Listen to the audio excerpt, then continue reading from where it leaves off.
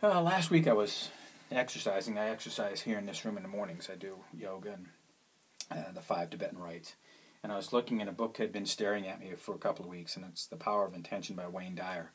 And I'd met Wayne years ago, briefly. I'm sure he doesn't remember. Um, but uh, uh, the book has been there. I don't know if I've even started. I picked it up and I started. One of the things he says, if you want to know what it's like to live with intention, go to the back of the book and read this. And and I started reading it, and it and it talked about a few things that I thought was interesting.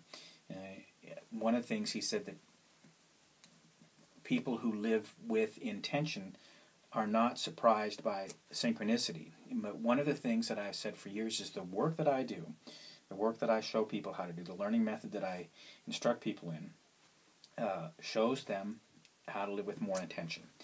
And what happens is they have more synchronicity in their lives. Whether, and some woman claimed, oh, you can't increase synchronicity. And I said, mm, okay, but I see it happen, so I'm not going to argue with people. I'm just going to keep doing my work. But uh, at any rate, he says they notice more synchronicity. What I say, if you, if you notice a synchronous event, and even if it's days later, and you go, wait a minute, wait a minute, the numbers against that were staggering.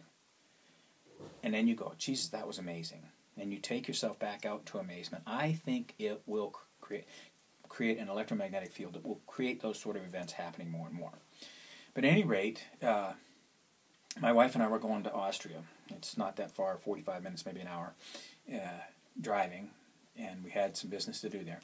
And on the way home, I said, you know, why don't we take the scenic route? Let's just take the scenic route. On the way to Austria, I said to her, what do you want for her birthday? Her birthday's coming up soon.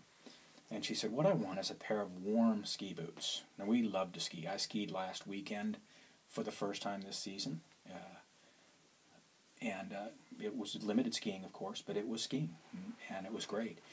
And my wife, the one thing that she's complained about for years is that her feet get cold. And while we've warmed up her entire system, when I met her, all of her would get cold, and we've we've uh, bumped up her metabolism so that she doesn't get cold all the time. Uh, but uh, so I said, okay, well, then let's get you some really good ski boots. She said, I'd like the one with the heaters in them. I said, okay. So we decided to take the uh, scenic route home, and she said, "Oh, look, there's a Spar store, which is uh, they've got they're big and they've got a lot of organic stuff sometimes, and they're inexpensive." So we started to go to the Spar store, and we were looking for a printer, and I said, "Let's go to the electro department before," and we got diverted into a sports shop, and I said, "Well, that's odd." We were speaking about ski wear, and they had everything on sale at the beginning of the season. And so we walked in, and I'm looking at a pair of ski boots. I walk up and she goes to find some assistance. And I'm looking at a pair of ski boots. So I just stop right in front of them. And I look and I'm reading in German, which my reading is limited. And it said something about Heizung, which is heating. And uh, so she came back and she said, I just talked to a clerk back there, and he said that, the, that they've ordered them, but the heating system boots aren't in yet.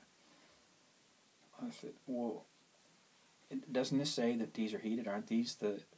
Isn't that what that little cable on the back is for? Is for the heating unit on the back of the boot? she, she said, These are the boots that heat. Just then, another guy came up and he said, These are good ones too. And he went through and, we, and she tried on several pairs of boots. Uh, and we did end up getting her a birthday present uh, heated ski boots. But the point of this is is the intention, the synchronicity. The, I asked what she wanted for birthday. The next that day we're driving, uh, and then she goes to a clerk and he said, "Oh, we don't have any," and I'm standing right in front of him. How does life work? I don't know. Is my life synchronous? Many times it is. Things happen that shouldn't happen, but they seem to keep happening, so I keep doing them. If you're curious, bring me to where you are. I do classes wherever people bring me. www.micpeakperformance.com. Have a great day.